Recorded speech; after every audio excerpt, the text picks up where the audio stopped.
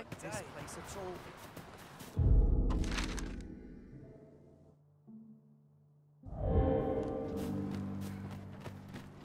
Oh, it's not right. It doesn't make any sort of sense. The doctor examined him afore and said he'd be better with a bit of medicine. Yet ever since he came here, he's only gotten worse. I understand how you must feel. But you must see that your son's health continues to wane. There is no medicine that can heal him outright. He requires proper treatment. I am caring for him as best I can. I beg only for your patience. However, if you truly cannot entrust him to me, perhaps you would care to take him home with you instead. Mayhap convalescing in a place familiar to him would aid his recovery. Of course, I would be sure to visit him as oft as I am able. Home, you say? Dear, we are pressed enough as tis. All right, he stays. But pray bring my son back to health. I will look after him. I swear it.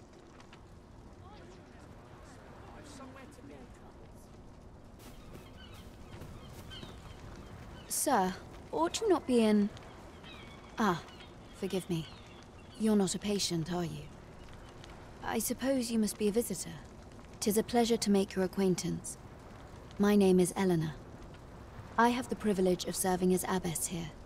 I regret that I cannot offer you a cup of tea, but I'm in the middle of making my rounds of the patients. Not to mention, I have to find the means to procure more medicinal ingredients. Oh. You wouldn't happen to know someone willing to brave the roads, would you? I know tis perilous, but there is one ingredient in particular we cannot afford to run out of. You would procure it yourself? I am grateful beyond words, sir. In that case, might I trouble you to bring me some miasmite? The slums are a bane to the body's humors, and its residents are oft prone to illness. We do what we can with what little we have, but we're always short on helping hands. Your aid is most appreciated, sir. May your search prove fruitful. Tell is.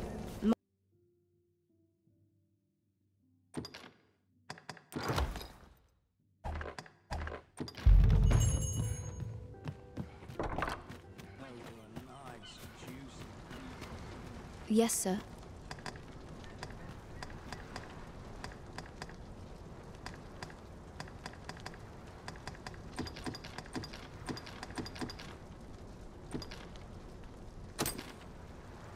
Have you procured what I asked? Splendid. You've my gratitude. Unfortunately, I can give you little more than that. Forgive me, but I must return to my rounds directly. Ah, but in place of a reward, mayhap I could give you a tour of the premises. Only if you've the time and inclination, of course. What say you? Would you care to accompany me? As servants of the gracious hand, we provide whatever treatment we can to those unfortunate who are stricken by maladies. Yet, at times, tis not enough. Perhaps you will recall the parents who were here when you first arrived. An unfortunate pair. They've suffered no few hardships in the slums, and now even their poor son Lubomir has fallen ill. By chance, he was examined by a roaming man claiming to be a doctor. Yet, the family had not the money for the medicine he required. So, he was put into our care.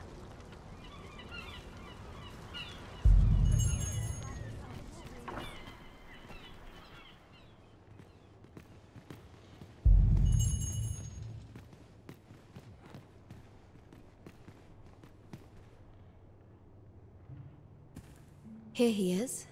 This young man, we've been administering the medicine recommended by the doctor who examined him. But he has yet to show any sign of recovery. To be perfectly honest, I doubt the soundness of that so-called doctor's judgment. After all, there is no shortage of ne'er-do-wells out there, willing to claim their medicine the only cure, that they might inflate its price. But I suppose I ought not say such things so openly. A at any rate, I'd best continue on my rounds. Pray, stay as long as you wish. Come, come. We've medicine to prepare.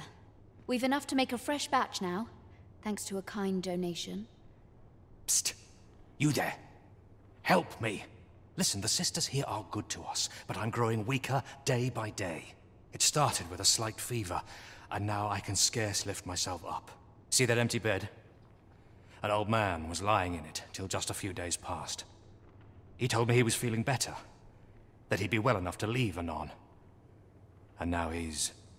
Mayhap I'm just imagining things. I hope that's the case. And yet... Gah... Something isn't right about this place. Pray, should you hear any queer rumors about the Gracious Hand, come tell me of them, won't you? I'd see to it myself, but I can hardly move.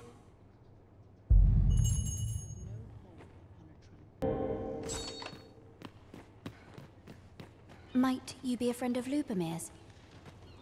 He's seen better days, hasn't he? There has been talk of sending him down to the basement, should his condition fail to improve. That is, the basement sick room, where our most critical patients convalesce under the Abbess's care. None of the other sisters are permitted entry, including myself. Teles, she gives the patients a special medicine. I, I know not what kind. At times I hear strange cries and moans drift up from below. Which is to, to be expected. Those who come here suffer all manner of afflictions, you see. And yet, a part of me is afeared for them.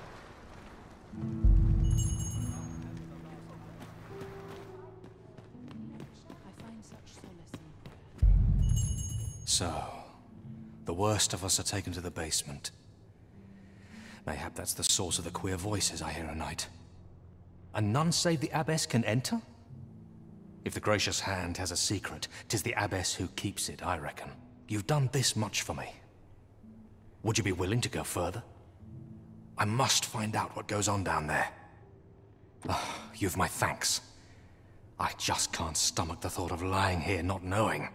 Of course, all the better should your search come to naught.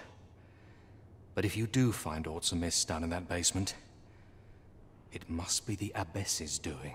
Should you find evidence fit to implicate her, will you help me see to it that justice is carried out? See, I've already reported my suspicions to the Sentinels, and we've arranged a signal. If you apprehend the Abbess, they'll know to come and arrest her. So I beg you, sir, find the evidence you need. If it exists to be found. To get to the bottom of what is happening at the Gracious Hand, we shall have to acquire evidence of any misdeeds.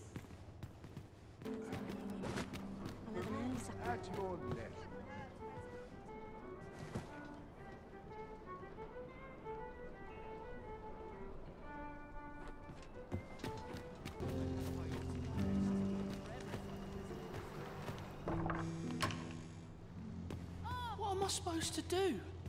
Nothing ever seems to happen round here.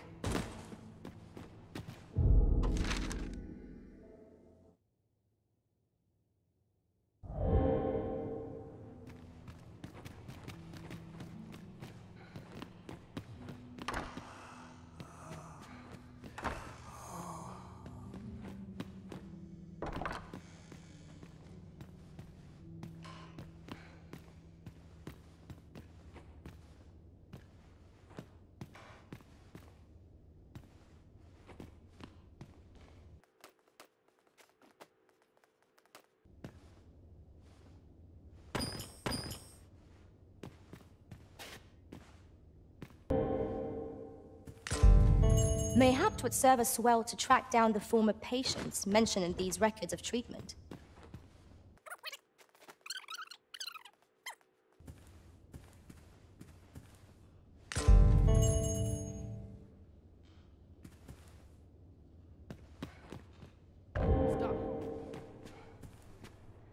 You're back!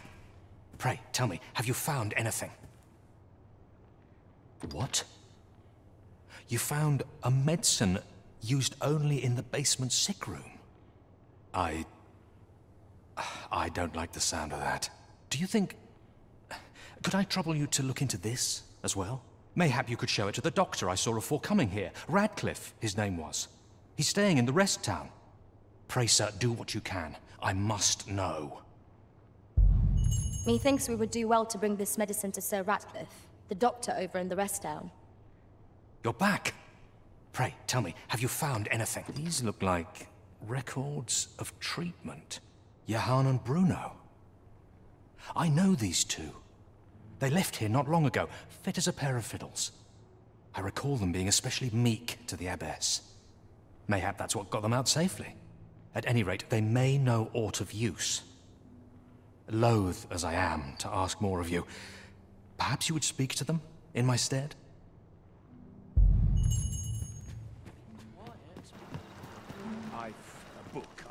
I ought to be getting to.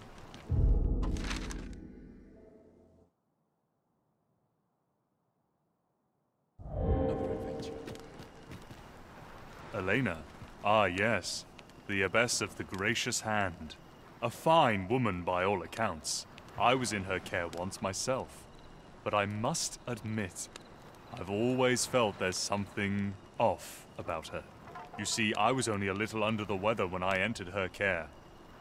But then I started getting sicker and sicker till I was certain death would come for me. In the end, I survived, but methinks I was one of the lucky few. So many died down there. And once I saw her, the abbess, meeting with a strange man. She handed him a large parcel, all wrapped up. And he gave her something small in return. You'd think 'twere medicine, but I'd not have bought medicine from a man like that. He had the look of a scoundrel about him. They were whispering, but I did hear one of them say aught about keeping quiet. Tis well suspicious, eh? Where'd they meet? 'Twas in the square in the eastern part of the common quarter, and always a night, as I recall.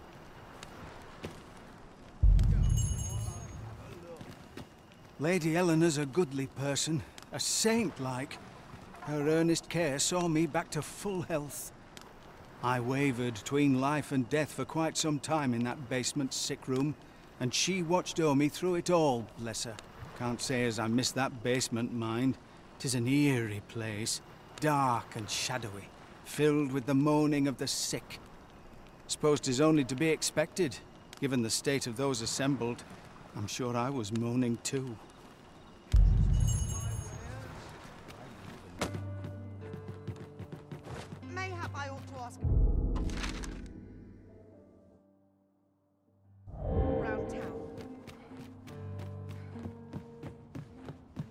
Here. Aye, this is plenty. Lord Phaesus is like to be in your debt. Nicely done. Suppose it can't have been easy to procure this much so quickly. You suppose wrong. I command their full faith. Tis simple for me to extract what I require. Ha! You're a fearsome one.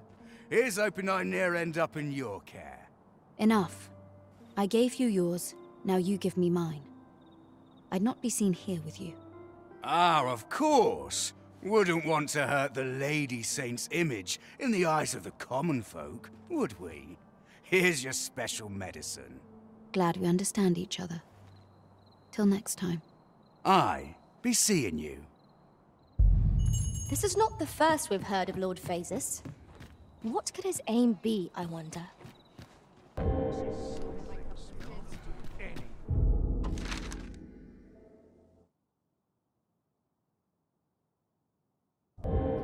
Walking everywhere is certainly tiring. This ox cart's bound for the checkpoint rest town. I'll need to see some coin before I let you on.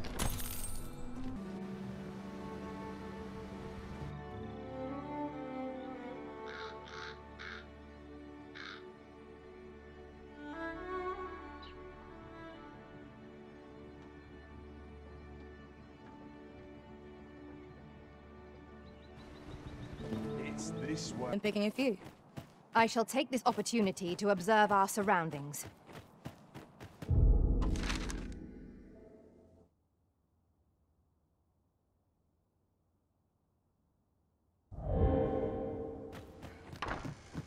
Aye? In need of a doctor, are you? What's this you're giving me? Oh, I see. You want me to run some sort of test on this? Determine what manner of substance substance 'tis? Interesting. Well, you've certainly piqued my curiosity. Whatever your reasons, I'll take a look. Naturally, I'll need a bit of time with it. Come back again in... oh, I don't know. Later.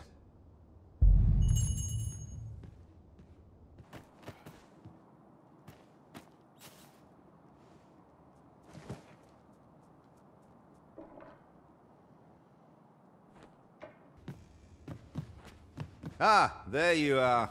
You've come at a good time. I've just finished running those tests.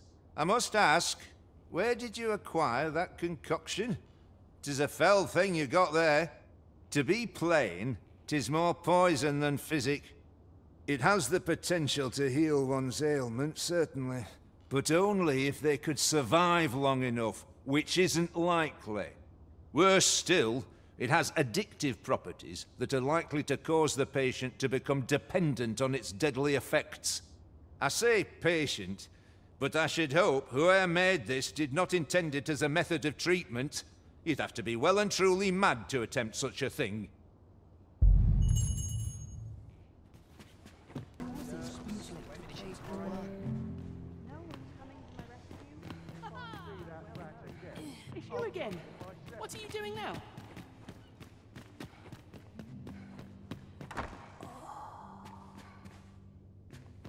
The patients in this room must not be disturbed.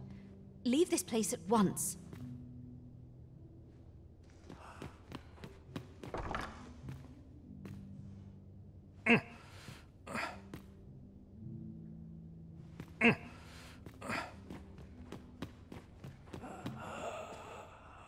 I fear I've much to attend to.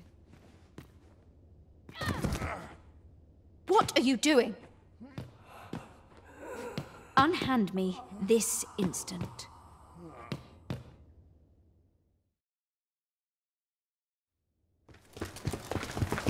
Many thanks for your assistance in this matter. Eleanor is being questioned as we speak. Suffice to say, your testimony, combined with the evidence you've procured, have cast a great deal of suspicion upon the Abbess that she isn't like to shake. Pray have this, sir. Tis your reward for aiding us in our duty to this city.